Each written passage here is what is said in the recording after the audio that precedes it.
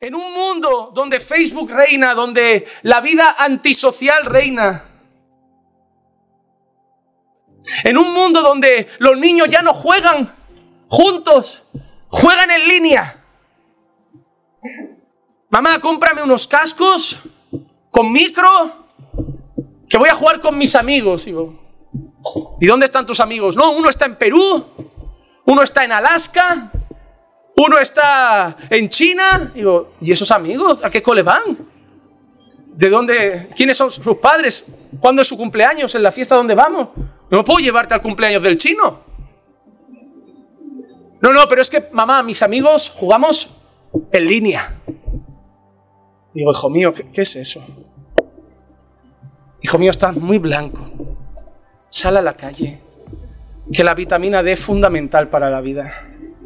No te está dando el sol, hijo mío. Abre las cortinas, por el amor de Dios, que son las 4 de la tarde y parecen las 2 de la madrugada. Huele a pozo cerrado en esta habitación.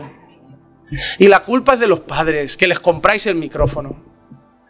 Tú le compras a tu hijo lo que necesita para estar encerrado. Cómprale una pelota, unas bambas, empújalo para afuera, sácalo a la calle. No lo van a atropellar, tranquilo. No lo van a... Espero que no. Espero que no. Ahora que nadie... Solo faltaría. Pero es que vosotros le compráis lo que necesita para ser antisocial. Hermano, la mesa de tu hijo en su habitación es una tele, el ordenador, el móvil. Tu hijo en una habitación pequeña tiene seis pantallas. Entre la tablet, el portátil del cole, el ordenador, la play, el móvil, tu hijo tiene seis pantallas. Antes seis pantallas no tenía ni una casa. Y tu hijo tiene seis en una habitación de dos por dos. Que tú, tú ves una habitación apagada y sale un reflejo de luz por la puerta y dices, que hay ahí? ¿Un cine? Y tu hijo con toda esa luz dándole a la cara pierde el sueño. Da las dos de la mañana está jugando. Hijo, no, no es que no tengo sueño, claro, porque el brillo no te deja relacionarte con la noche. El brillo te está diciendo, sigue siendo de día. Tu hijo se está acostando a las 3 de la madrugada jugando a la videoconsola, levantándose a las 12 como un vago, una habitación desordenada y tú crees que llegando, esto parece, no hace nada. Ante el mundo no, ¿eh? Porque tu hijo llega con el mejor móvil, la mejor consola, la mejor ordenador. Ante el mundo, oye, tu padre te lo da todo, qué envidia. Pero ante Dios no le das nada. El mundo quiere que tu hijo sea antisocial para convencerle de sus ideologías, que no tenga amigos en la iglesia, que no se junte con nadie, que no haga relaciones con esos religiosos, déjalo en su mundo. Cuando venga a la iglesia, déjala ahí en el móvil. A veces estoy dando vueltas, saben que me gusta saludar a toda la iglesia. Y voy a saludar a jóvenes que antes de empezar el culto ya están ahí con el jueguecito en el móvil.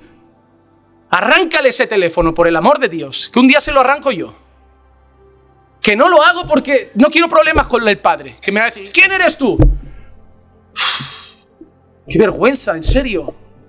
Pero ¿cómo puede ser que vaya el pastor a saludarle? No por ser el pastor, cualquier hermano.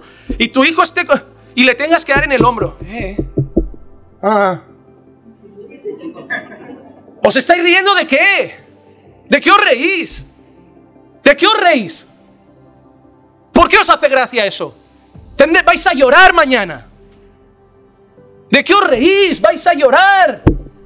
No estoy contando chistes, estoy hablando de la pena que da tu hijo. No hace gracia esta sociedad. Ese es el problema, que nos muestran la cruda realidad y echamos una risa. Y lo digo por los padres de aquí, no del mundo, ¿eh? Esto pasa en la iglesia. Tu hijo sale hoy de aquí y se va de cabeza a su habitación a jugar. Por tu culpa. Tu hijo sale de aquí y se va ahí a estar con el móvil ya con el WhatsApp porque no sabe ni saludar a un hermano por tu culpa. Tu hijo es maleducado por tu culpa. Tu hijo es individualista por tu culpa. Tu hijo es así por tu culpa. Ni culpes a los profesores, ni culpes a la sociedad, ni a la ideología, ni a la filosofía, ni al gobierno. Es tu culpa. Porque es tan fácil como decir, hijo, dame el móvil, te lo doy el lunes si quieres. Vamos a hablar. Vamos a jugar al dominó, al parchís, a las cartas, vamos a ser una familia. Ah, toma el móvil, anda, déjame ya. La culpa es tuya. que no quieres la tensión de la disciplina, la tensión de formar un hombre, la tensión es tenso, es difícil, se va a quejar. También te quejas tú que predico así de duro y también me miras con cara de odiarme, pero es por tu bien.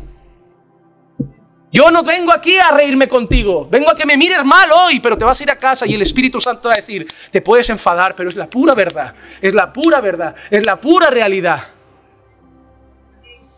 Y un día, algunos de los que hoy me miran con mucho odio, dentro de unos años vendrán y mirar, pastor, gracias, gracias porque esas, esas broncas, esas riñas, esa disciplina puso mi casa en orden. Gracias.